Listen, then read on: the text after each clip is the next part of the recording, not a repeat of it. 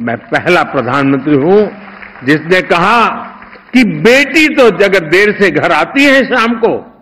तो माँ, बाप, भाई सब पूछते, कहाँ गई थी? क्यों देर हो गई? लेकिन ये दुर्भाग्य है कि कोई माँ, बाप अपने बेटा देर से आता है तो पूछता नहीं कि बेटा कहाँ गया था। क्यों? बेटे को भी तो पूछो। और ये बात मैंने लाल किले से उठाई थी।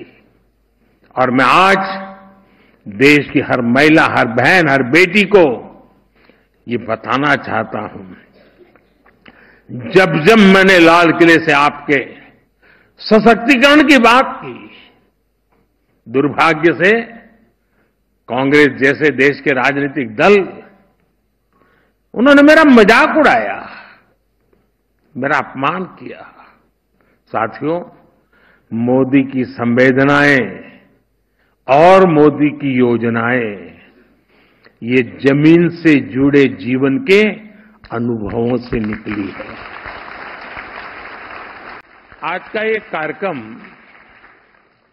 महिला सशक्तिकरण के लिहाज से बहुत ऐतिहासिक है।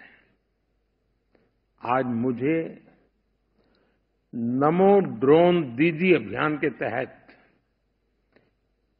एक हज़ार आधुनिक ड्रोन महिलाओं के स्वयं सहायता समूहों को सौंपने का अवसर मिला है।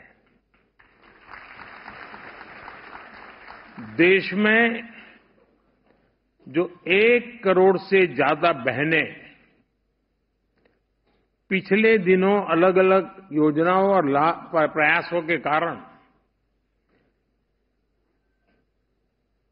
एक करोड़ बहनें लखपति दीदी बन चुकी है। यह आंकड़ा छोटा नहीं है।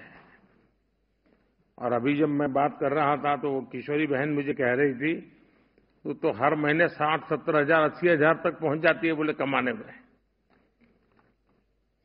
अब देश के नौजवानों को भी प्रेरणा दे सकते हैं। गाँव में एक बहन अपने उद्यम से हर महीने साठ हज़ार सत्तर हज़ार रुपया कमाती है। उनका आत्मविश्वास देखिए। हाँ किशोरी वहाँ बैठी है हाथ ऊपर कर रही है। हाँ। और जब मैं ये सुनता हूँ देखता हूँ तो मेरा विश्वास बहुत बढ़ जाता है। आपको आश्चर्य होगा। कभी कभी आप जैसे लोगों से छोटी मोटी बातें सुनने को मिलती है ना तो मुझे विश्वास बढ़ जाता है हाँ यार, हम सही दिशा में हैं, देश का ज़रूर कुछ भला होगा। क्योंकि हम योजना तो बनाए लेकिन उस योजना को पकड़ करके आप जो लग जाते हैं ना, और आप परिणाम दिखाते हैं। और उस परिणाम के कारण सरकारी बाबुओं को भी लगता है हाँ यार, कुछ अच्छा हो रहा है। तो काम तेज अगर आप ये वीडियो YouTube पर देख रहे हैं तो हमारे चैनल को सब्सक्राइब करें और बेल आइकन को दबाना ना भूलें। अगर आप Facebook पर यह वीडियो देख रहे हैं तो हमारे पेज को लाइक करें।